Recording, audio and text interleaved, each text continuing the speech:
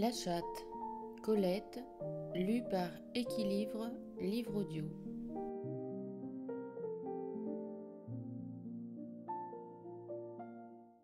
Chapitre 7 Ce fut vers la fin de juin qu'entre eux, l'inconciabilité s'établit comme une saison nouvelle, avec ses surprises et parfois ses agréments.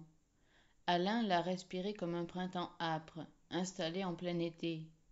Sa répugnance à ménager, dans la maison natale, une place pour la jeune femme étrangère, il l'emportait avec lui, la dissimulait sans effort, la brassait et l'entretenait mystérieusement par des soliloques et par la contemplation sournoise du nouvel appartement conjugal. Un jour de chaleur grise, Camille excédée s'écria au haut de leur passerelle abandonnée du vent. Ah. Plaquons tout. On prend la trottinette. Et on va se tremper quelque part, dit Alain. J'en suis, répondit-il avec une promptitude cauteleuse. Où allons-nous? Il eut la paix pendant que Camille énumérait des plages et des noms d'hôtels. L'œil sur sa haie prostrée et plate, il prenait le loisir de réfléchir et de conclure.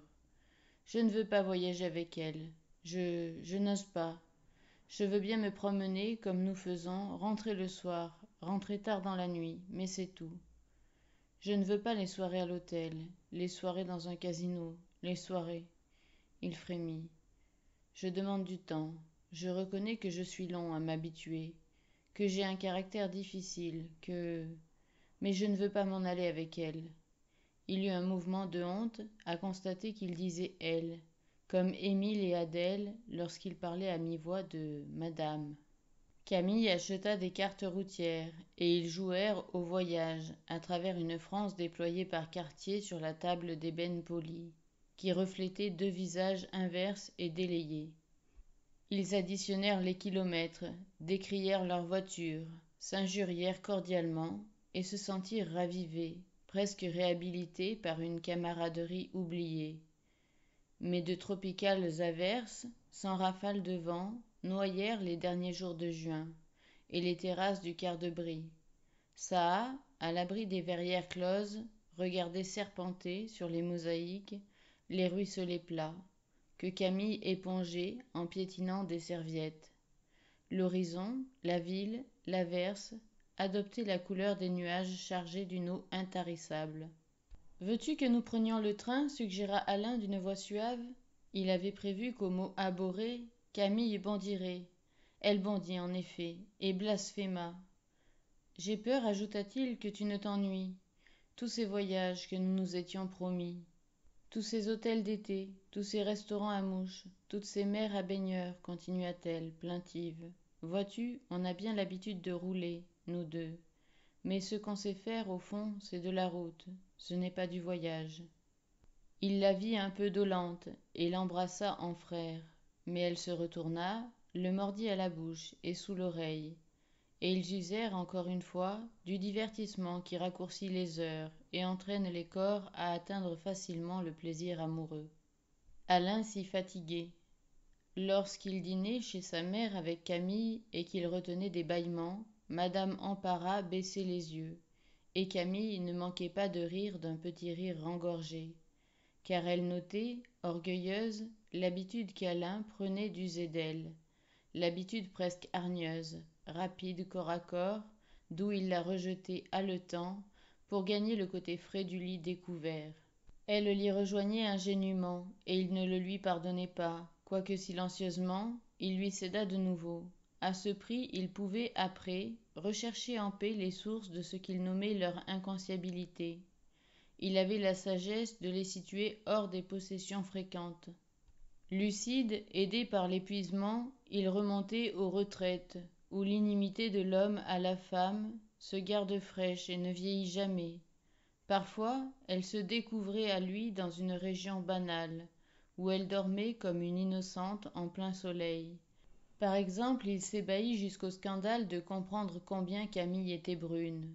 Au lit, couché derrière elle, il épiait les cheveux courts de la nuque tendue, rangés comme des piquants d'oursin, dessinés sur la peau comme des hachures orographiques, les plus courts visibles et bleus sous la peau fine, avant que chacun d'eux émergeât par petits pores noircis. N'avais-je jamais eu de brune s'émerveillait-il. Deux ou trois petites noiraudes ne m'ont pas laissé un souvenir aussi brun. Et il tendait à la lumière son propre bras, normalement blanc, jaune, un bras de blond pailleté de duvet d'or, vert, irrigué de veines couleur de jade. Il comparait sa propre chevelure aux sylves à reflets violets qui sur Camille laissaient apercevoir, entre les crispations d'algues et les tiges parallèles, d'une abondance exotique, la blancheur étrange de l'épiderme. La vue d'un fin cheveu très noir collé au bord d'une cuvette lui donna la nausée. Puis la petite névrose changea et quittant la nuance s'en prit à la forme, tenant embrassé, apaisé, le jeune corps dans la nuit lui voilait les ombres précises. Alain se mit à blâmer qu'un esprit créateur aussi rigoureux qu'autrefois celui de sa nurse anglaise, pas plus de pruneaux que de riz, maï garçon, pas plus de riz que de poulet, eût modelé Camille en suffisance, mais sans rien abandonner à la fantaisie ou à la prodigalité. Il emportait son blâme et son regret dans le vestibule de ses songes, pendant l'instant incalculable réservé au paysage noir, animé d'yeux convexes, de poissons à nez grec, de lune et de menton. Là, il souhaita qu'un fessier 1900, librement développé au-dessous d'une taille déliée, compensât la petitesse acide des seins de Camille. D'autres fois, il transigeait à demi endormi et préférait une gorge encombrante, une mouvante et double monstruosité de chair aux cimes irritables. De telles soifs, qui naissaient de l'étreinte et lui survivaient, n'affrontaient pas la lumière du jour, ni le réveil complet, et ne peuplaient qu'un isthme étroit entre le cauchemar et le rêve voluptueux. Échauffée, l'étrangère fleurait le bois mordu par la flamme, le bouleau, la violette, tout un bouquet de douces odeurs sombres et tenaces, qui demeuraient longtemps attachées aux pommes. Ces fragrances exaltaient Alain, contradictoirement, et n'engendraient pas toujours le désir.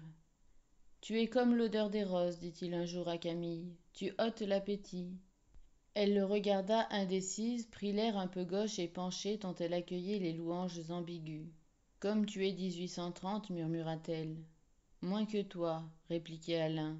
Mais oui, moins que toi. Je sais à qui tu ressembles. À Marie Dubas, on me l'a déjà dit. Grande erreur, ma fille. Tu ressembles, les bandeaux en moins, à toutes celles qui ont pleuré en haut d'une tour, sous Louisa Puget, elle pleurait sur la première page des romances, avec ton grand œil grec, tombé, et ce bord épais de la paupière qui fait sauter la larme sur la joue. Ses sens, l'un après l'autre, abusaient Alain et condamnaient Camille.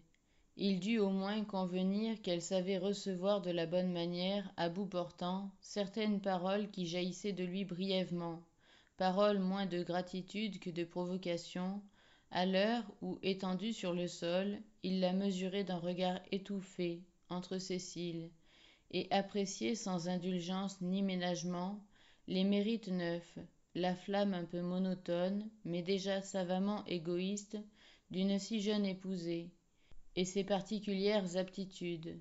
C'étaient là des moments de lumière franche de certitude dont camille s'attachait à prolonger le demi silence de pugilat l'angoisse de cordes tendues et d'équilibre périlleux.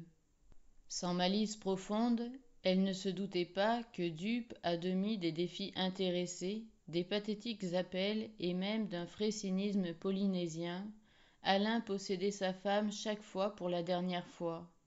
Il se rendait maître d'elle, comme il lui eût mis une main sur la bouche pour l'empêcher de crier, ou comme il l'eût assommée.